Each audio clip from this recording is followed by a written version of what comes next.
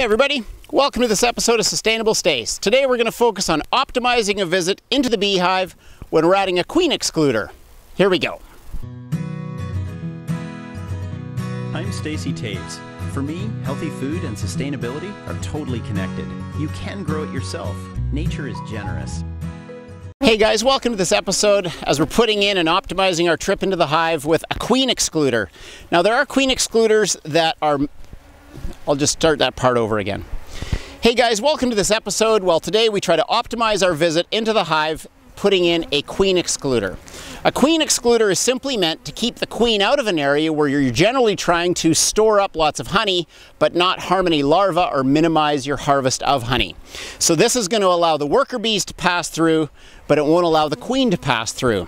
Now I've got a queen excluder here on this hive, and you can see it's right in here, and there's a little notch here, which I also have a notch on this one, and it's designed so that the worker bees now don't have to only go in the entry that's been reduced. In this case, we're going to add the excluder here. They don't only, only have to go into the entry that's reduced, they'll now be able to enter on a top level as well and get in that way so they don't have to go through all the levels of their condo or apartment building. There are excluders that are made of plastic. I find they bunch up with a lot of different buildup from the bees. Very hard to clean, very hard for even the workers to get through over time. I find these ones with a wood frame and metal in the middle are far more durable and to clean off you need a wire brush. In my case mine's pretty tired but it still does the job and you need to clean it up season to season as long as it's disease free you're ready to go. So that's what we've got with the queen excluder. And here if you look over the architecture of this hive that we're going to go into, there's a shallow box, another shallow, there's a deep, and then this one actually doesn't have hives in it or any frames or foundation. It's just got a coffee sack pulled along the tightly on the top bottom, and sawdust is on top of that coffee sack. So it's an attic meant to reduce moisture buildup in the hive. So I've got an extra box here, and this box is freshly painted with a latex-based paint. I gave it two coats and then I gave it two days to off gas if there was any odors that would be harmful or concerning to the bees. And inside these, I've got frames that have a plastic foundation with a wax top coating, so they should be pretty agreeable plus strong in the extractor. All I'm going to do now is put this box or another one that's the same dimensions above the excluder and five of these frames I'm going to transfer below the excluder and I'm going to bring up and swap with them five frames that are the same size that are hopefully full of stores. And over time, as the mm. workers in those full frames hatch, we'll be left with just honey above the excluder, and that's our goal. So here we go, let's jump into it.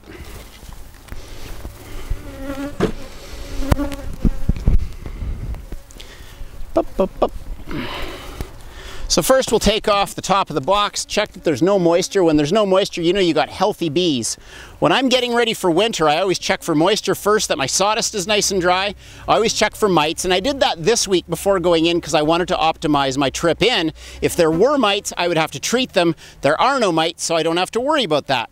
But the third thing I'd be thinking about going into winter is these bees are going to have to have in my climate, zone 8 on the west coast of Canada, 25 to 30 pounds of honey for the winter to come out healthy. 12 to 15 kilos of honey.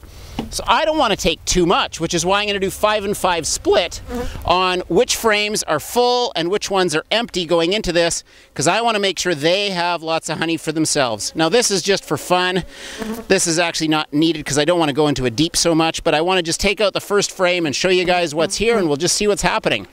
By the way, up until a week ago, this frame, this, this hive rather, didn't have a queen. and now it's full of fresh because the hive on the right had a queen who was laying. I took a bunch of the resources from the right hand hive, well, it's your left hand, and I put them in here. And in 28 days, these workers that I brought over made their own queen. And now look at that's all capped brood. That's the result of the brand new queen who's only been laying for one week. Lots of honey around the perimeter as well. So that is gorgeous. Just let the light go in there. There's no drone brood in there either. So it's all workers that are going to hatch out. So that's about as good as it gets there. Oh man, that's nice. Look at that. So that whole box, because it's a big one, is going to have to go further down and have frames above it. We're just going to go really gentle setting it back in and we're not going to mess with the deep box anymore. We're just going to leave it alone.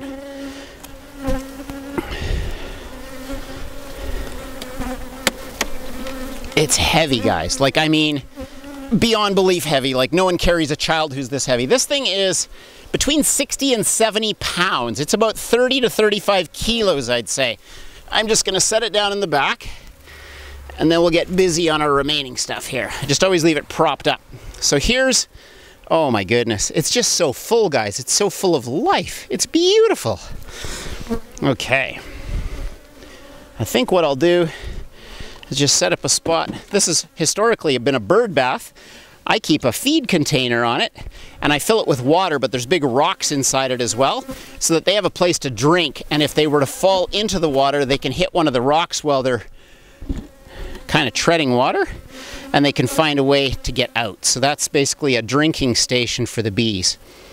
So we're just going to try to gently go in here. If there's a queen and we see her, we don't want to disturb her and we want to keep her down at the bottom and get the queen excluder in between her on the bottom and where we want to build up stores up above. So here there's lots of pol- Oh, I've got the queen. I'm just going to bring her to you right now so you can see her. Okay, I'm coming over, I'm coming over. Here's the queen right there. She's right at my finger and she's moving fast. You see her? She's so much bigger and kind of an amber color. She's right there. Just give you, uh, give you a moment to see her. Going a little closer if I can. She's beautiful. Okay, so we know where our queen is. Great.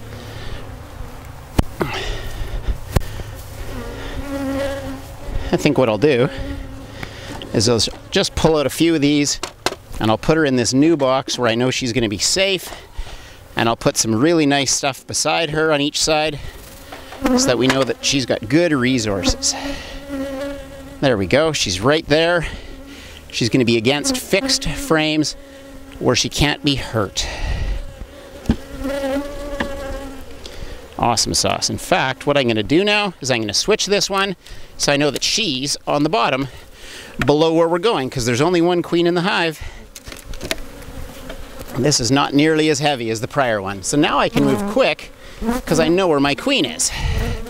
We're just going to set her down below here. She can be right there.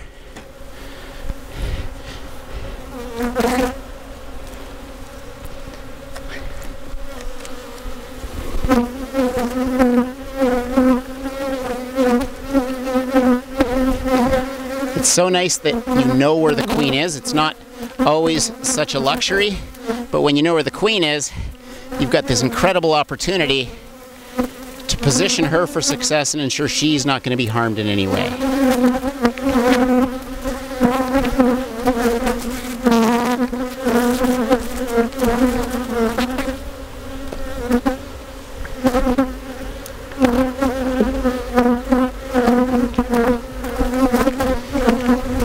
All right. I'm just going to put that back in there.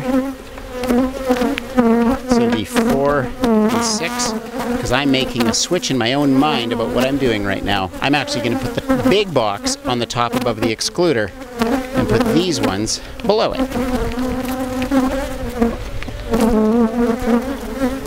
Making sure again that the queen's nowhere near in any danger. There we go. We'll just put these frames. Ah.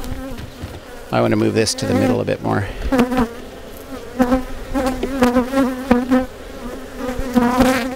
There we go.